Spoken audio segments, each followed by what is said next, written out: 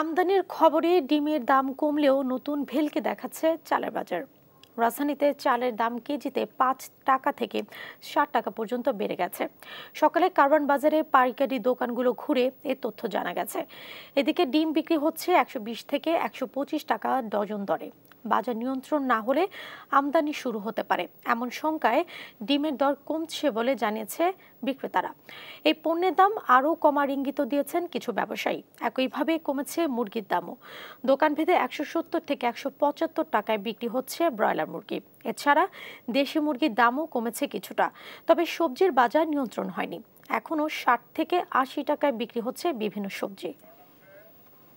মধ্যবিত্ত বা স্বল্প আয়ের চাকরি করি তাদের কিন্তু এই খাদ্যদ্রব্য বা অন্যান্য জিনিসপত্র কিনতেই কিন্তু তার সব শেষ হয়ে যাচ্ছে।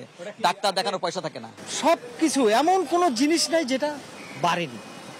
যারা সাধারণ ইনকামের মানুষ যারা নিম্ন শ্রেণির মানুষ আমরা না হয় কোনো মতো বেঁচে গেলাম। কিন্তু এদের অবস্থা কি? মানে এটা ভাবার মতো না। কেউ যদি ধরেন আগে মাসে পাঁচ দশ হাজার টাকার বাজার করতো সেই এখন দুই হাজার, আড়াই হাজার টাকার বাজার করে।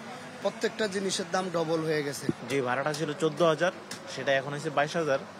ওইটা যদি আপনার তিনশো বস্তায় কনভার্ট করা হয়, মাত্র বাড়ে পঁচিশ, পঞ্চাশ পয়সা বাড়ে আসলে ওইটা হলো সরকার চাইলে এটা পারে, কিন্তু আসলে সরকার জানে যে যদি তেলের দামটা বাড়ায়, তাহলে সব কিছুর দাম কিন্তু ঊর্ধ্বমুখী হবে।